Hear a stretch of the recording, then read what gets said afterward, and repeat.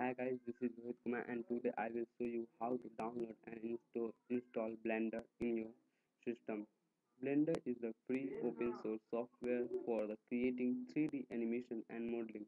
It is a very useful software for 3D modeling and animations, gaming, live game engine. So I will show you how to install it in your system. First of all, open your browser and type the URL.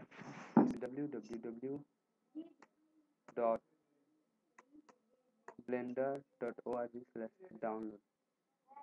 This here I can I will give you the description of the video. Here the page open from where you can download the blender here I have Windows system 32 bit. So I will choose Windows 32 bit.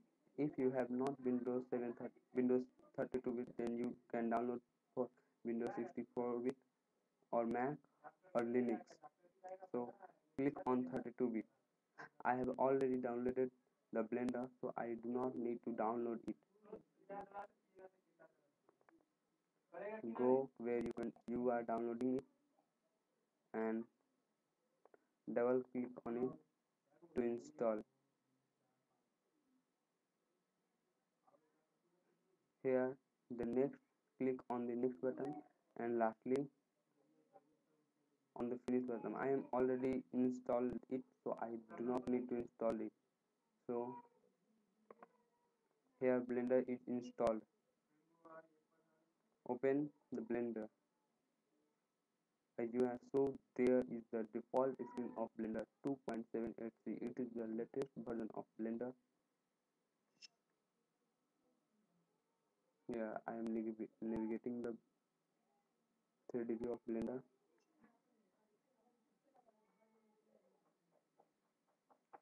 So